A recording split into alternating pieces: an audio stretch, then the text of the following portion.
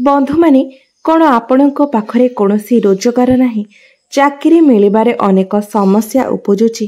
ଗୃହରେ ସର୍ବଦା ଧନର ଅଭାବ ରହୁଛି ଏବଂ ବିବାହରେ ସମସ୍ୟା ଆସୁଛି। ତେବେ ବନ୍ଧୁମାନେ ଏସବୁ ସମସ୍ୟାର ସମାଧାନ ପାଇଁ ଏବଂ ଆପଣଙ୍କର ହିଁ ଲାଭ ପାଇଁ ଭିଡ଼ିଓଟିକୁ ସ୍କିପ୍ ନ କରି ଶେଷ ପର୍ଯ୍ୟନ୍ତ ନିଶ୍ଚୟ ଦେଖନ୍ତୁ। ବନ୍ଧୁମାନେ ମଙ୍ଗଳବାର ଦିନ ପ୍ରଭୁ ଶ୍ରୀରାମଙ୍କର ପରମ ଭକ୍ତ ପ୍ରଭୁ ହନୁମାନଙ୍କର ପୂଜା କରିବା ପାଇଁ ସବୁଠାରୁ ଉତ୍ତମ ଦିନ ବୋଲି ମାନାଯାଇଥାଏ। ଏହି ଦିନ ଭଗବାନ ହନୁମାନଙ୍କର ପୂଜା କରିବା ସହିତ ଯଦି କିଛି ଜ୍ୟୋତିଷ ଉପାୟର ପାଳନ କରାଯାଏ ତେବେ ମଙ୍ଗଳ ଦୋଷରୁ ତତ୍କାଳ ହିଁ ମୁକ୍ତି ମିଳିଯାଇଥାଏ। ଆପଣମାନେ ଭଗବାନ ଶନିଙ୍କୁ କ୍ରୂର ଗ୍ରହ ବୋଲି କହିଥାନ୍ତି। ମାତ୍ର ଆପଣଙ୍କ ଜୀବନରେ ଯେତେ ବି ସମସ୍ୟା ଆସିଥାଏ ମାଙ୍ଗଳିକ କାର୍ଯ୍ୟରେ ଯେତେ ବି ବାଧାବିଘ୍ନ ଉପୁଜିଥାଏ ସେସବୁ ମଙ୍ଗଳଙ୍କର କାରଣରୁ ହିଁ ହୋଇଥାଏ।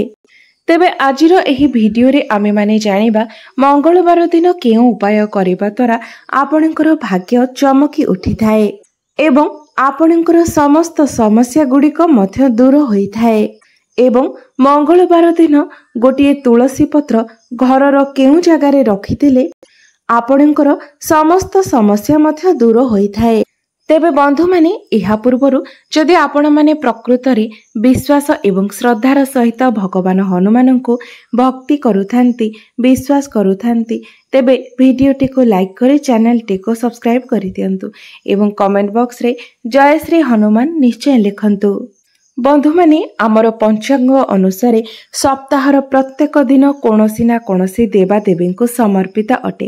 ସେହିପରି ମଙ୍ଗଳବାରଟି ଭଗବାନ ହନୁମାନଙ୍କୁ ସମର୍ପିତ ଅଟେ। ଏହା ସହିତ ଏହା ମଙ୍ଗଳ ଗ୍ରହଙ୍କୁ ମଧ୍ୟ ସମର୍ପିତ ଅଟେ।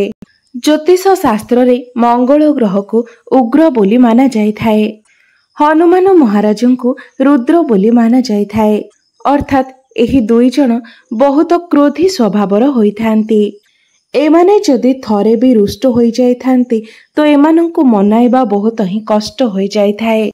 ମଙ୍ଗଳ ଦୋଷ ଲାଗିବା କାରଣରୁ ଆପଣଙ୍କ ଗୃହରେ ସର୍ବଦା କଳି ଝଗଡ଼ା ଏବଂ ଦୁର୍ଘଟଣା ମଧ୍ୟ ହୋଇଥାଏ। ଯେଉଁ ବ୍ୟକ୍ତିମାନଙ୍କର କୁଣ୍ଡଳୀରେ ମଙ୍ଗଳ ଦୁର୍ବଳ ସ୍ଥିତିରେ ଥାନ୍ତି ସେହି ବ୍ୟକ୍ତିମାନଙ୍କୁ ରକ୍ତ ସମ୍ବନ୍ଧିତ ବେମାରୀ ଏବଂ ଚର୍ମ ସମ୍ବନ୍ଧିତ ବେମାରୀର ସମ୍ମୁଖୀନ ହେବାକୁ ପଡ଼ିଥାଏ। ସେଥିପାଇଁ ଆପଣଙ୍କର କୁଣ୍ଡଳୀରେ ମଙ୍ଗଳଙ୍କର ସ୍ଥିତି ମଜବୁତ ରହିବା ନିହାତି ଆବଶ୍ୟକ ହୋଇଥାଏ। ଜ୍ୟୋତିଷ ଶାସ୍ତ୍ରରେ ମଙ୍ଗଳଙ୍କର ସ୍ଥିତିକୁ ଠିକ୍ କରିବା ପାଇଁ କିଛି ବିଶେଷ ଉପାୟ ବିଷୟରେ ଉଲ୍ଲେଖ କରାଯାଇଛି ଏବଂ ଏହି ଉପାୟ ଗୁଡ଼ିକ ଯଦି ଆପଣ ବିଧିପୂର୍ବକ କରିନିଅନ୍ତି ତେବେ ଆପଣଙ୍କ ଜୀବନରେ ଖୁସି ଭରି ଯାଇଥାଏ। ପ୍ରଭୁ ହନୁମାନଙ୍କର ବିଶେଷ କୃପା ଆପଣଙ୍କୁ ପ୍ରାପ୍ତ ହୋଇଥାଏ। ଏହା ସହିତ ଆପଣଙ୍କର ଭାଗ୍ୟୋଦୟ ମଧ୍ୟ ହୋଇଥାଏ। ତେବେ ବନ୍ଧୁମାନେ ଆମେ ପ୍ରଥମେ ଜାଣିନେବା ଏପରି କିଛି କାର୍ଯ୍ୟ ବିଷୟରେ। ଯେଉଁ କାର୍ଯ୍ୟଗୁଡ଼ିକ ଆପଣମାନେ ମଙ୍ଗଳବାର ଦିନ ନ କରିବା ଉଚିତ କାରଣ ମଙ୍ଗଳବାର ଦିନ ଏହି ନିଷେଧ କାର୍ଯ୍ୟଗୁଡ଼ିକ କରିବା ଦ୍ୱାରା ଆପଣ ପ୍ରଭୁ ହନୁମାନ ଏବଂ ମଙ୍ଗଳଙ୍କର କ୍ରୋଧର ଶିକାର ହୋଇଥାନ୍ତି। ବନ୍ଧୁମାନେ ଯେଉଁ ବ୍ୟକ୍ତି ଉପରେ ପ୍ରଭୁ ହନୁମାନ ରୁଷ୍ଟ ହୋଇଥାନ୍ତି ତା ଉପରେ ମଙ୍ଗଳ ମଧ୍ୟ ରୁଷ୍ଟ ହୋଇଥାନ୍ତି। ଏବଂ ଯେଉଁ ବ୍ୟକ୍ତି ମଙ୍ଗଳଙ୍କର ଦୋଷର ଶିକାର ହୋଇଥାଏ ସେହି ବ୍ୟକ୍ତିଙ୍କ ଜୀବନରେ କେବେ ବି କିଛି ଭଲ ହୋଇନଥାଏ। ସେହି ବ୍ୟକ୍ତିମାନଙ୍କର ଜୀବନରେ କେବେ ବି ଆଧ୍ୟାତ୍ମିକ ଉନ୍ନତି ହୋଇପାରିନଥାଏ ବନ୍ଧୁମାନେ ଆପଣମାନେ ମଙ୍ଗଳବାର ଦିନ ଯେତେ ପାରିବେ କମ୍ ଲୁଣର ସେବନ କରନ୍ତୁ। ଏହି ଦିନ ଅଧିକ ଲୁଣ ଖାଇବା ଆପଣଙ୍କ ପାଇଁ ଖରାପ ଅଟେ। ଯେଉଁ ବ୍ୟକ୍ତିମାନେ ମଙ୍ଗଳବାର ଦିନ ଅତିରିକ୍ତ ଲୁଣର ସେବନ କରିଥାନ୍ତି ସେମାନଙ୍କୁ ଜୀବନରେ ଅନେକ ବାଧାବିଘ୍ନ ଏବଂ ସମସ୍ୟାର ସମ୍ମୁଖୀନ ହେବାକୁ ପଡ଼ିଥାଏ। ଋଣ ଭାରରେ ସେମାନେ ଗ୍ରସିତ ହୋଇଥାନ୍ତି। ବନ୍ଧୁମାନେ ମଙ୍ଗଳବାର ଦିନଟି ଭଗବାନ ହନୁମାନଙ୍କୁ ସମର୍ପିତ ଅଟେ। ସେଥିପାଇଁ ଆପଣ ଏହି ଦିନ ଆମିଷ ଦ୍ରବ୍ୟ ଭୋଜନ କରିବା ମଧ୍ୟ ନିଷେଧ ଅଟେ। ମଙ୍ଗଳବାର ଦିନ ଆମିଷ ଭକ୍ଷଣ କରିବା ଦ୍ୱାରା ଧୀରେ ଧୀରେ ଆପଣଙ୍କର ସ୍ୱାସ୍ଥ୍ୟ କ୍ଷୀଣ ହେବାକୁ ଲାଗିଥାଏ। ଏହା ବ୍ୟତୀତ ଆପଣ ମଙ୍ଗଳବାର ଦିନ ଋଣ କରଜ ଦେବାଠାରୁ କିମ୍ବା ନେବାଠାରୁ ଦୂରେଇ ରୁହନ୍ତୁ। ଯଦି ଆପଣ ମଙ୍ଗଳବାର ଦିନ କାହାକୁ ଋଣ କରଜ ଦିଅନ୍ତି ତେବେ ସେ ପଇସା ଆପଣଙ୍କୁ ମିଳିବାଟା ବହୁତ କଷ୍ଟ ହୋଇଥାଏ। ଏମିତିକି ସେହି ପଇସା ଆପଣଙ୍କୁ ମିଳି ମଧ୍ୟ ନପାରେ। ମଙ୍ଗଳବାର ଦିନ ଆପଣ ଅଯଥାରେ କାହା ସହିତ ଯୁକ୍ତିତର୍କ ଲଢ଼େଇ ଝଗଡ଼ା କରନ୍ତୁ ନାହିଁ କିମ୍ବା ଅଶାନ୍ତି ମଧ୍ୟ ସୃଷ୍ଟି କରନ୍ତୁ ନାହିଁ। କାହାର ମନକୁ କଷ୍ଟ ଦିଅନ୍ତୁ ନାହିଁ କିମ୍ବା କାହାକୁ ଅପଶବ୍ଦ କୁହନ୍ତୁ ନାହିଁ। ଆପଣମାନେ ମଙ୍ଗଳବାର ଦିନ କେବେ ବି ଲୁହା ଜାତୀୟ କୌଣସି ବି ବସ୍ତୁ କିଣନ୍ତୁ ନାହିଁ।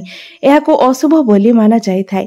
ଏହା ବ୍ୟତୀତ ଷ୍ଟିଲର ଜିନିଷ ଧାର ଥିବା ଜିନିଷ ଯେମିତିକି ଛୁରୀ କଇଁଚି ପନିକି ଇତ୍ୟାଦି। ଏସବୁ ଜିନିଷ ଆପଣ ମଙ୍ଗଳବାର ଦିନ ବିଲକୁଲ ବି କିଣନ୍ତୁ ନାହିଁ। କାରଣ ମଙ୍ଗଳବାର ଦିନ ଏହିସବୁ ଜିନିଷ କିଣିବା ଦ୍ୱାରା ଆପଣଙ୍କୁ ଶନି ଦଶାର ଶିକାର ହେବାକୁ ପଡ଼ିଥାଏ। ବନ୍ଧୁମାନେ ମଙ୍ଗଳବାର ଦିନ ସ୍ୱାମୀ ସ୍ତ୍ରୀଙ୍କ ମଧ୍ୟରେ ସମ୍ପର୍କ ରଖିବା ମଧ୍ୟ ଉଚିତ ନୁହେଁ। କାରଣ ଏହାଦ୍ୱାରା ଯେଉଁ ସନ୍ତାନ ଜାତ ହୋଇଥାଏ ସେ ନପୁଂସକ ହୋଇଥାଏ। ଏବେ ଆସନ୍ତୁ ଜାଣିବା ମଙ୍ଗଳବାର ଦିନ କେଉଁ ଉପାୟ କରିବା ଦ୍ୱାରା ଆପଣଙ୍କର ଭାଗ୍ୟ ଚମକି ଉଠିଥାଏ। ତେବେ ବନ୍ଧୁମାନେ ମଙ୍ଗଳବାର ଦିନ ସକାଳୁ ଆପଣ ଯଦି କୌଣସି ଦୁଃଖୀ ଦରିଦ୍ର ବ୍ୟକ୍ତିଙ୍କୁ କିମ୍ବା କୌଣସି ବ୍ରାହ୍ମଣଙ୍କୁ ଗହମର ଦାନ କରନ୍ତି ତ ଏହାଦ୍ୱାରା ଆପଣଙ୍କର ଭାଗ୍ୟ ଚମକି ଉଠିଥାଏ। ଯଦି ଆପଣ ଗୁଡ଼ର ଦାନ କରନ୍ତି ତେବେ ଆପଣଙ୍କୁ ଧନ ପ୍ରାପ୍ତି ହୋଇଥାଏ। ଯଦି ଆପଣ ଦିଆସିଲି କାଠିର ଦାନ କରନ୍ତି ତ ଆପଣଙ୍କ ଜୀବନରୁ ନକାରାତ୍ମକ ଶକ୍ତି ଗୁଡ଼ିକ ଦୂର ହୋଇଯାଇଥାଏ। ତମ୍ବାର ଦାନ କରିବା ଦ୍ୱାରା ଆପଣଙ୍କୁ ବହୁତ ଅଧିକ ମାତ୍ରାରେ ଧନର ପ୍ରାପ୍ତି ହୋଇଥାଏ। ସୁନାର ଦାନ କରିବା ଦ୍ୱାରା ଆପଣଙ୍କୁ ପ୍ରଭୁ ହନୁମାନଙ୍କର ବିଶେଷ କୃପା ପ୍ରାପ୍ତି ହୋଇଥାଏ ଏବଂ ଆପଣଙ୍କର ମନସ୍କାମନା ମଧ୍ୟ ପୂର୍ଣ୍ଣ ହୋଇଥାଏ। ଯଦି ଏହି ଦିନ ଆପଣ ଗାଈର ଦାନ କରନ୍ତି ତେବେ ଆପଣଙ୍କୁ କୋଟି ପୁଣ୍ୟ ପ୍ରାପ୍ତି ହୋଇଥାଏ।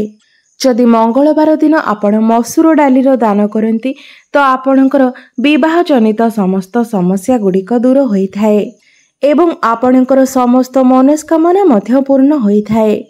ରକ୍ତ ଚନ୍ଦନର ଦାନ କରିବା ଦ୍ୱାରା ଆପଣଙ୍କର କୁଣ୍ଡଳୀରେ ମଙ୍ଗଳ ଗ୍ରହ ମଜବୁତ ହୋଇଥାନ୍ତି ଏବଂ ଆପଣଙ୍କର ଯଦି ରକ୍ତ ସମ୍ବନ୍ଧିତ ବିମାରୀ ଥାଏ ତେବେ ତାହା ମଧ୍ୟ ଦୂର ହୋଇଥାଏ। ଯଦି ମଙ୍ଗଳବାର ଦିନ ଆପଣ କୌଣସି ବ୍ରାହ୍ମଣଙ୍କୁ ଲାଲ ରଙ୍ଗର ଫୁଲ ଦାନ କରୁଛନ୍ତି କିମ୍ବା ଭଗବାନ ହନୁମାନଙ୍କୁ ଆପଣ ଲାଲ ରଙ୍ଗର ଫୁଲ ଅର୍ପଣ କରୁଛନ୍ତି ତେବେ ଏହାଦ୍ୱାରା ଆପଣଙ୍କୁ ସମସ୍ତ ଭୌତିକ ସୁଖର ପ୍ରାପ୍ତି ହୋଇଥାଏ। ମଙ୍ଗଳବାର ଦିନ ବ୍ରାହ୍ମଣଙ୍କୁ ମିଷ୍ଟାନ୍ନ ଦାନ କରିବା ଦ୍ୱାରା କିମ୍ବା ଭୂମି ଦାନ କରିବା ଦ୍ୱାରା ଆପଣଙ୍କୁ ମଙ୍ଗଳ ଦୋଷରୁ ତତ୍କାଳ ହିଁ ମୁକ୍ତି ମିଳିଥାଏ। ଏହା ସହିତ ଆପଣଙ୍କୁ ମଙ୍ଗଳଙ୍କର ବିଶେଷ କୃପା ମଧ୍ୟ ପ୍ରାପ୍ତ ହୋଇଥାଏ। ମଙ୍ଗଳ ଦେବଙ୍କୁ ଭୂମିପୁତ୍ର ବୋଲି କୁହାଯାଇଥାଏ। ଯେଉଁ ବ୍ୟକ୍ତିମାନେ ଭୂମିର ଇଚ୍ଛା ରଖିଛନ୍ତି ଭୂମି କ୍ରୟ କରିବା ପାଇଁ ଚାହୁଁଛନ୍ତି ବହୁତ ଧନ ଅର୍ଜନ କରିବା ପାଇଁ ଚାହୁଁଛନ୍ତି ସେମାନେ ଯେତେ ମାତ୍ରାରେ ପାରିବେ ସେତେ ଅଧିକ। ପ୍ରଭୁ ହନୁମାନ ଏବଂ ମଙ୍ଗଳଙ୍କର ସେବା କରିବା ପାଇଁ ଚେଷ୍ଟା କରନ୍ତୁ ପୂଜାର୍ଚ୍ଚନା କରିବା ପାଇଁ ଚେଷ୍ଟା କରନ୍ତୁ। ଆପଣମାନେ ପ୍ରତ୍ୟେକ ଦିନ ପ୍ରଭୁ ହନୁମାନଙ୍କର ପୂଜା କରିବା ଦ୍ୱାରା ଆପଣଙ୍କ କୁଣ୍ଡଳୀରେ ସ୍ୱତଃ ମଙ୍ଗଳ ମଜବୁତ ହୋଇଯାଇଥାନ୍ତି। କାରଣ ମଙ୍ଗଳଙ୍କର ସ୍ୱାମୀ ହନୁମାନ ଅଟନ୍ତି। ତ ବନ୍ଧୁମାନେ ଆସନ୍ତୁ ଜାଣିବା କିଛି ଚମତ୍କାରୀ ଉପାୟ ବିଷୟରେ ଯେଉଁ ଉପାୟ ଗୁଡ଼ିକ ଆପଣ ମଙ୍ଗଳବାର ଦିନ ପାଳନ କରିବା ଆପଣଙ୍କ ପାଇଁ ବହୁତ ହିଁ ଶୁଭ ରହିବ। ଏହା ଆପଣଙ୍କର ଶୋଇ ରହିଥିବା ଭାଗ୍ୟକୁ ଜାଗ୍ରତ କରାଇବ। ତ ବନ୍ଧୁମାନେ ଆପଣମାନେ ପ୍ରତ୍ୟେକ ମଙ୍ଗଳବାର ଦିନ ସକାଳ ଏବଂ ସନ୍ଧ୍ୟା ସମୟରେ ଭଗବାନ ହନୁମାନଙ୍କ ସମ୍ମୁଖରେ ଗୋଟିଏ ଘିଅର ଦୀପ ଅବଶ୍ୟ ଜଳାନ୍ତୁ। ବନ୍ଧୁମାନେ ବୁନ୍ଦିର ଲଡ଼ୁ ଭଗବାନ ହନୁମାନଙ୍କୁ ବହୁତ ହିଁ ପସନ୍ଦ ହୋଇଥାଏ। ଯଦି ବୁନ୍ଦିର ଲଡ଼ୁ ଆପଣ ଭୋଗ କରିପାରୁନାହାନ୍ତି ତେବେ ଚଣା ମଧ୍ୟ ଆପଣ ନିଶ୍ଚୟ ଅର୍ପଣ କରିପାରିବେ କାରଣ ଚଣା ମଧ୍ୟ ଭଗବାନ ହନୁମାନଙ୍କର ଅତ୍ୟନ୍ତ ପ୍ରିୟ ହୋଇଥାଏ। ତ ଆପଣ ଯଦି ମଙ୍ଗଳବାର ଦିନ ଭଗବାନ ହନୁମାନଙ୍କୁ ବୁନ୍ଦିର ଲଡ଼ୁ କିମ୍ବା ଚଣା ଅର୍ପଣ କରୁଛନ୍ତି ତ ଏହାଦ୍ୱାରା ଆପଣଙ୍କ ଜୀବନରେ ଚାଲିଥିବା ଅନେକ ସମସ୍ୟାର ସମାଧାନ ହୋଇଯାଇଥାଏ। ମଙ୍ଗଳବାର ଦିନ ଯଦି ଆପଣ ଚମେଲି ତେଲରେ ସିନ୍ଦୁର ମିଶାଇ ତାହାକୁ ଭଗବାନ ହନୁମାନଙ୍କ ଶରୀରରେ ଲେପ ଦିଅନ୍ତି ଏବଂ ପାଞ୍ଚଟି ମଙ୍ଗଳବାର ପର୍ଯ୍ୟନ୍ତ ଏହି ଉପାୟଟି ପାଳନ କରିବା ଦ୍ୱାରା ଆପଣଙ୍କୁ ଶନି ଦୋଷ ସହିତ ମଙ୍ଗଳ ଦୋଷରୁ ମଧ୍ୟ ମୁକ୍ତି ମିଳିଥାଏ। ଯେଉଁ ବ୍ୟକ୍ତିଙ୍କର କୁଣ୍ଡଳୀରେ ମଙ୍ଗଳ ଦୋଷ ଏବଂ ଶନି ଦୋଷ ଲାଗିଯାଏ ସେହି ବ୍ୟକ୍ତିଙ୍କ ଜୀବନରେ କିଛି ବି ଶୁଭ ହୋଇନଥାଏ। ସେହି ବ୍ୟକ୍ତିଙ୍କର ଆଧ୍ୟାତ୍ମିକ ଉନ୍ନତି ହୋଇପାରିନଥାଏ। ବନ୍ଧୁମାନେ ଆପଣମାନେ ଶୁଣିଥିବେ ଯେ ଜାତକରେ ଶନି ଦଶା ଲାଗିବା ଶନି ସାଢ଼େ ସାତି ଶନି ଅଢ଼େଇ ଏସବୁର ପ୍ରଭାବରେ ମଣିଷର ଜୀବନ କିପରି ଦହଶାନ୍ତ ହୋଇଥାଏ ଆପଣ ଜାଣିଥାନ୍ତି ଜାଣିଛନ୍ତି। ମାତ୍ର ଶନି ଦଶାଠାରୁ ଆହୁରି ବି କଷ୍ଟଦାୟକ ହୋଇଥାଏ ମଙ୍ଗଳଙ୍କର କ୍ରୂର ଦୃଷ୍ଟି।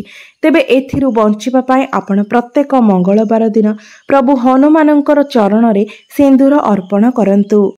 କିମ୍ବା ଆପଣ କୌଣସି ବି ହନୁମାନ ମନ୍ଦିରକୁ ଯାଇ ସେଠାରେ ଥିବା ପୂଜାରୀଙ୍କୁ ଚମେଲି ତେଲ ଏବଂ ସିନ୍ଦୁର ଭଗବାନଙ୍କୁ ଅର୍ପଣ କରିବା ପାଇଁ ଦେଇଦିଅନ୍ତୁ ଏହାଦ୍ୱାରା ଆପଣଙ୍କ କୁଣ୍ଡଳୀରେ ଥିବା ଶନି ଦୋଷ ଏବଂ ମଙ୍ଗଳ ଦୋଷ କମ୍ ହୋଇଯାଇଥାଏ ଏବଂ ଯଦି ଆପଣଙ୍କର ବିବାହରେ ବିଳମ୍ବ ହେଉଛି ତେବେ ମଧ୍ୟ ଆପଣଙ୍କୁ ଆପଣ ଯଦି ଏହି ଉପାୟଟିକୁ ପାଞ୍ଚଟି ମଙ୍ଗଳବାର ଦିନ ପାଳନ ପର୍ଯ୍ୟନ୍ତ ପାଳନ କରନ୍ତି ତେବେ ଆପଣଙ୍କର ବିବାହରେ ଆସୁଥିବା ସମସ୍ତ ସମସ୍ୟା ଏବଂ ବାଧାବିଘ୍ନ ମଧ୍ୟ ଦୂର ହୋଇଯାଇଥାଏ।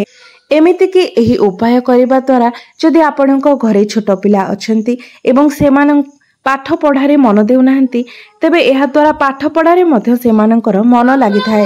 ଯଦି ଆପଣ ଗୋଟିଏ ତୁଳସୀ ପତ୍ରରେ ରକ୍ତ ଚନ୍ଦନରେ ରାମ ଲେଖି ଭଗବାନ ହନୁମାନଙ୍କୁ ଅର୍ପଣ କରନ୍ତି ତେବେ ଏହାଦ୍ୱାରା ଭଗବାନ ହନୁମାନ ଅତ୍ୟନ୍ତ ପ୍ରସନ୍ନ ହୋଇଥାନ୍ତି। ଗୋଟିଏ ସପ୍ତାହ ଭିତରେ ହିଁ ଆପଣଙ୍କର ମଙ୍ଗଳ ଦୋଷ ଏବଂ ଶନି ଦୋଷ କମ୍ ହୋଇଯାଇଥାଏ ଏବଂ ଗୋଟିଏ ସପ୍ତାହ ମଧ୍ୟରେ ହିଁ ଆପଣଙ୍କର ସମସ୍ତ ମନସ୍କାମନା ମଧ୍ୟ ପୂର୍ଣ୍ଣ ହୋଇଥାଏ। ମଙ୍ଗଳବାର ଦିନ ଆପଣ ମାଙ୍କଡ଼ କିମ୍ବା ଲାଲ ରଙ୍ଗର ଗାଈଙ୍କୁ ଚଣା କିମ୍ବା ଗୁଡ଼ ମଧ୍ୟ ଖୁଆଇ ପାରିବେ। ଏପରି କରିବା ଦ୍ୱାରା ଆପଣଙ୍କର କୁଣ୍ଡଳୀରେ ମଙ୍ଗଳ ଗ୍ରହ ମଜବୁତ ହୋଇଥାନ୍ତି। ତେବେ ବନ୍ଧୁମାନେ ଏହି ଉପାୟ ଗୁଡ଼ିକ ଆପଣ ମଙ୍ଗଳବାର ଦିନ କରିବା ପାଇଁ ନିଶ୍ଚୟ ରୂପରେ ଚେଷ୍ଟା କରନ୍ତୁ। କାରଣ ଏହି ସହଜ ଉପାୟ ଗୁଡ଼ିକ ପାଳନ କରି ଆପଣ ଭଗବାନ ହନୁମାନ ଏବଂ ମଙ୍ଗଳଙ୍କର ବିଶେଷ କୃପା ପ୍ରାପ୍ତି କରିପାରିବେ। ଏହା ବ୍ୟତୀତ ଶନି ଦଶାରୁ ମଧ୍ୟ ମୁକ୍ତି ପାଇପାରିବେ। ତ ବନ୍ଧୁମାନେ ଆପଣମାନେ ମଙ୍ଗଳବାର ଦିନ ଏହି ଉପାୟ ଗୁଡ଼ିକ ନିଶ୍ଚୟ ପାଳନ କରନ୍ତୁ। ଯାହାଦ୍ୱାରା ଆପଣଙ୍କ ଜୀବନରେ ଆସୁଥିବା ଅନେକ ସମସ୍ୟା ଏବଂ ବାଧାବିଘ୍ନରୁ ଆପଣ ମୁକ୍ତି ପାଇପାରିବେ। ତ ବନ୍ଧୁମାନେ ମୋର ଏହି ଭିଡ଼ିଓଟି ଯଦି ଆପଣମାନଙ୍କୁ ଭଲ ଲାଗିଥାଏ ତେବେ ଭିଡ଼ିଓଟିକୁ ଲାଇକ୍ କରି ଚ୍ୟାନେଲଟିକୁ ସବସ୍କ୍ରାଇବ୍ କରିଦିଅନ୍ତୁ ଏବଂ କମେଣ୍ଟ ବକ୍ସରେ ଜୟ ଶ୍ରୀରାମ ଜୟ ହନୁମାନ ନିଶ୍ଚୟ ଲେଖନ୍ତୁ।